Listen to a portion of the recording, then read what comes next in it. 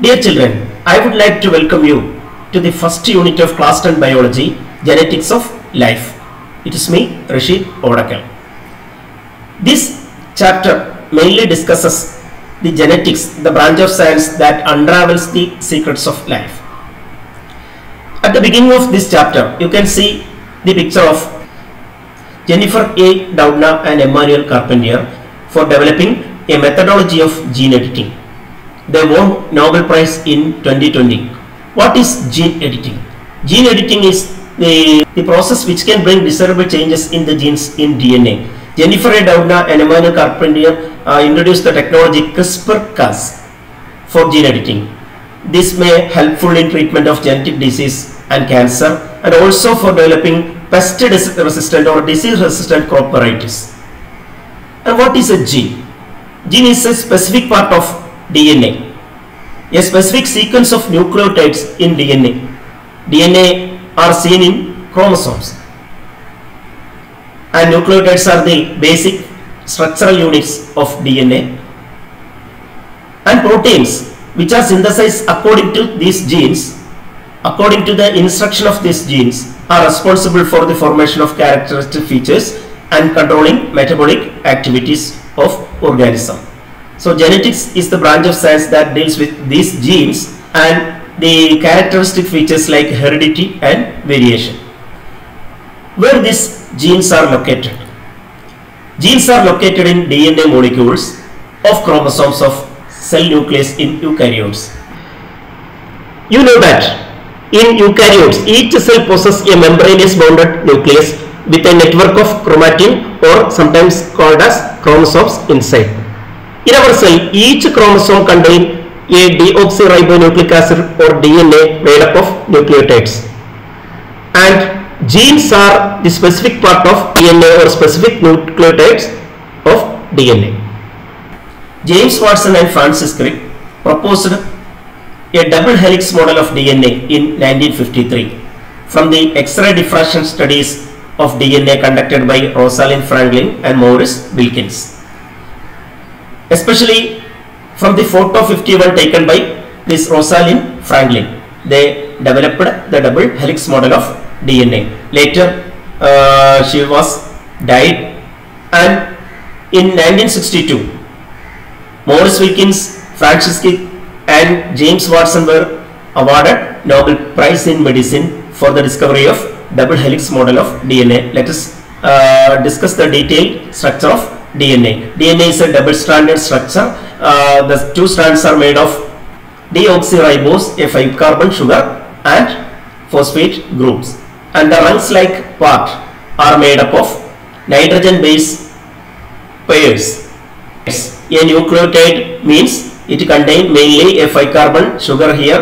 Uh, it is deoxyribose and phosphate group and nitrogen base. There are four nitrogen base adenine, thymine, cytosine, guanine and this is a thymine nucleotide. This T indicates thymine. This is uh, paired with the adenine nucleotide and another nucleotide cytosine and this this is guanine. The phosphate groups participate in the bonding of nucleotides and the rungs like structures or nucleotide pairs guanine pairs with the cytosine uh, in, um, by a triple bond and thymine with adenine by a double bond. Also see the direction of this strand one is upward and this is downward. The DNA in each chromosome is about 5 centimeter long and in our 46 chromosome of a cell it will be around 2 meter in length. How does such a large DNA fits in a single chromosome? A chromosome contains mainly DNA and histone protein.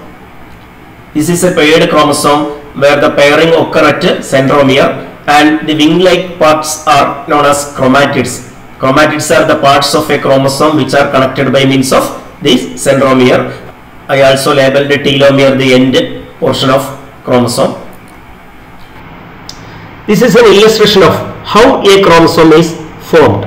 See, DNA strands made up of nucleotides weighing around a histone octamer uh, which is composed of 8 histone proteins thus to form a nucleosome.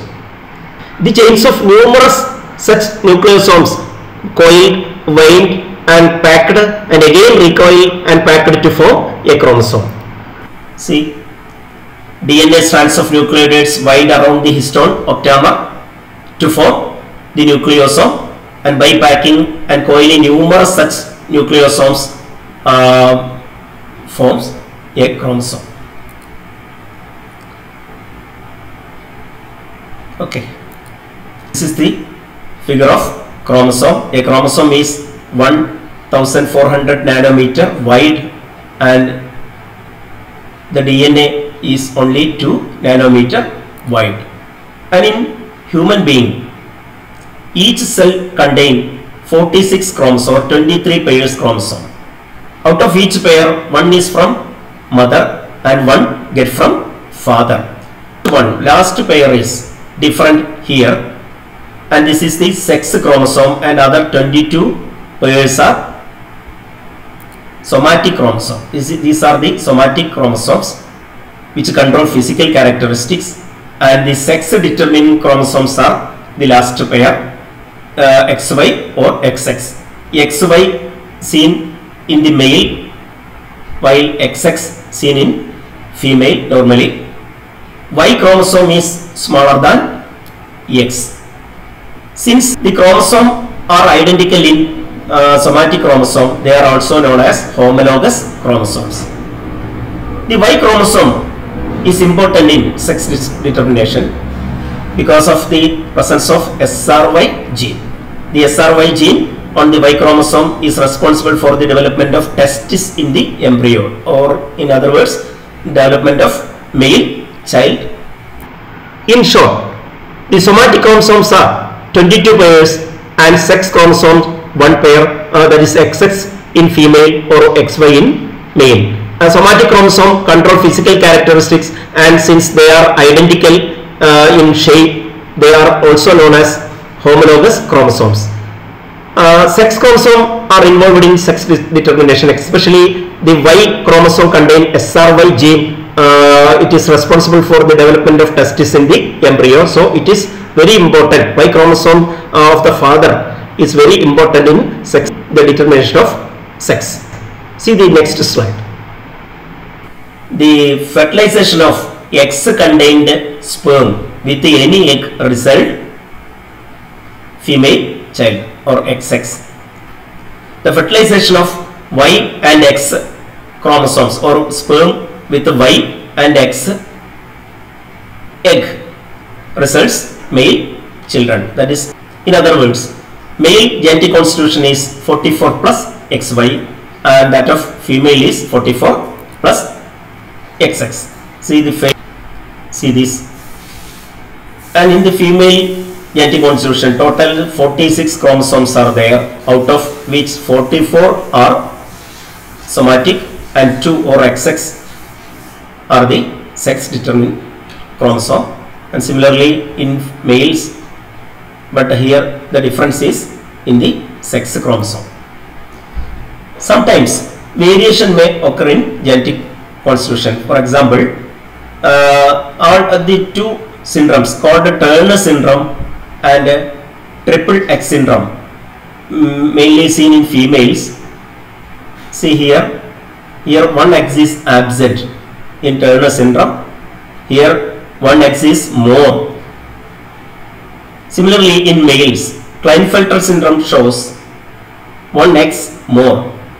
Normally XY, but here x is uh, x is more and in the XYY syndrome the name indicates y is excess genetics which I have uh, said earlier that the branch of science that deals with the genes and the heredity and variation and the proteins which are synthesized according to these genes are responsible for the formation of characteristic features and controlling metabolic activities. How are these proteins synthesized? Let us discuss it uh, in our second class. Now answer a few questions. First one, a gene is a specific part of dash of chromosome, specific part of DNA, deoxyribonucleic acid of chromosome. Thymine B. Thymine is pairing with the adenine. Cytosine is dash. No doubt guanine. C. One sugar and one phosphate and one nitrogen base is dash. Here is a model. This is a nucleotide. And D. Francis Crick and Dash proposed the double helical model of DNA. James Watson is the answer. And E. Female have 44 somatic chromosomes plus XS and male have dash. 44 plus XY. And the second question, identify the illustration or given figure. Uh, this is a nucleotide, especially T indicate thymine, so this is a thymine nucleotide. Sub question B, what does the T indicate? What is its peculiarity? The T indicate uh, thymine nitrogen base. Uh, it is an alkaline nitrogen contained alkaline molecule. And third question, how does the nucleosomes in the chromosomes forms? DNA strands wind around a histone octamer which is composed of 8 histone proteins thus to form a nucleosome and the chains of nucleosomes uh, are packed, coiled and again coiled and packed to form a chromosome.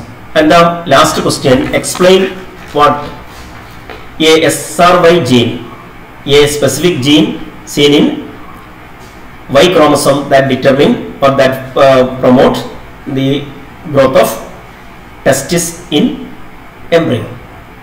And B, CRISPR-Cas technology. It's a technology uh, proposed by Jennifer A. Doudna and Emmanuel Carpentier for gene editing.